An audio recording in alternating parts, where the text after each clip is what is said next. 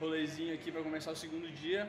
Vai ficar já esse hack de viagem. Sempre que vocês estiverem numa cidade da Europa, pode ser em qualquer lugar na verdade, mas procura por um walking tour. Normalmente eles são free of charge, então de graça. E aí no meio do caminho eles vendem outros passeios, mas eles fazem todo esse tour guiado de duas, três horas pela cidade é, na maioria das cidades históricas, assim, né? Pode conhecer a cidade, todos os pontos turísticos, em uma manhã só, mais ou menos. Aí, se tu quiser em algum lugar depois, tu pode ir com mais tempo. Todos os lugares que a gente vai, aqui na Europa, pelo menos, a gente faz isso, né, meu amor? Aí normalmente tem um ponto que a gente se encontra, todo mundo se encontra por ali, tem opção em inglês e espanhol, e a partir daí a gente sai, e aí é isso. Partiu pegar o trem aqui na Marquês de Pombal. Galerinha, infelizmente chegamos atrasados um pouquinho para pegar o walking tour, então já fica a dica. A gente chegou 10 minutos atrasados e já tinham saído e não dava para entrar no meio do rolo, então agora a gente só vai pegar o das duas da tarde. Mas enquanto isso, Séries aqui está triste, porque ele ficou se maquiando um pouquinho demais. A gente vai colar num lugar que chama Alex Factory, um conjunto de galerias e restaurantes feito a partir de tipo uns prédios antigos, uns depósitos, não sei, vamos ver qual é que é o rolo agora, mas é uma caminhadinha de uns 45 minutos. Então bora bater perna.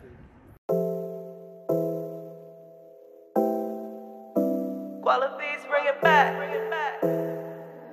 Diplomat in the cut, yeah.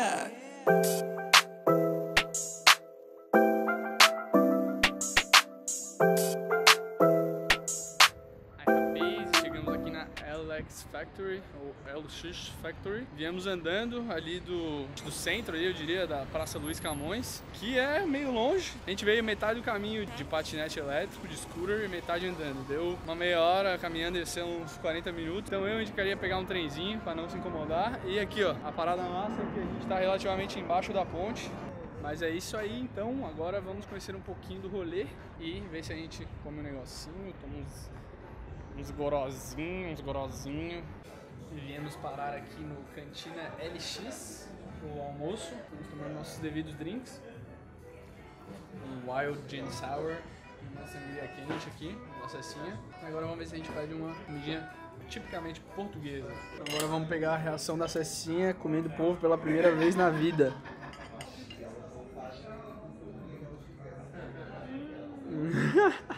Cara, na moral, acho que esse aí é um dos melhores povos que eu já comi na minha vida. Caralho, na moral, super macio, saborosíssimo, delicioso, meus amigos, delicioso.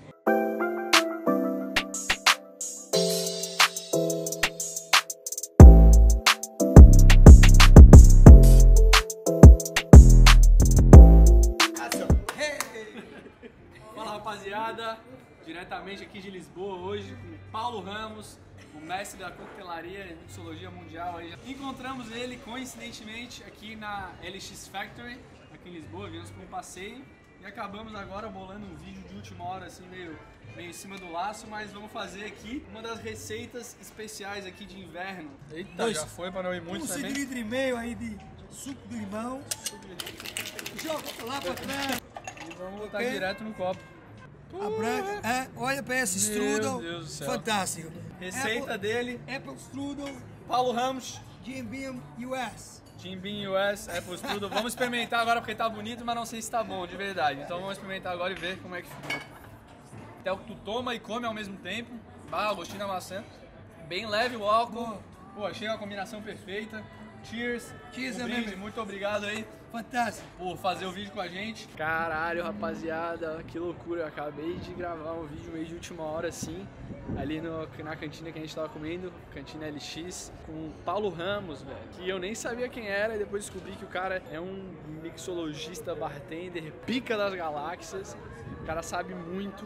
Já foi embaixador de várias marcas, Bacardi, Red Bull, fez shows pra grandes marcas, inclusive aquelas festas de empresa, pra Ibéria, cara, em tudo, Estados Unidos, Europa, trabalhou por lá já também. Pô, muito louco, bicho, super atencioso. A gente gravou o vídeo de última hora ali já. Então, põe aí, vou botar aqui embaixo também as mídias sociais, enfim, canal de YouTube dele. Cara mais coroa já, mas que, porra, manda muito, tem um coração gigante também. É isso, tamo junto e espero que vocês tenham curtido aí. Chegamos agora então no que era pra ser o programa da manhã, colar ali no Walking Tour, que a gente perdeu, deixa abaixo, mas porque a série ficou se arrumando meia hora, então ela ficou se maquiando e a gente acabou perdendo. Mas agora tá tudo certo, acho que a gente. Olha lá, o pessoal se encontrando lá.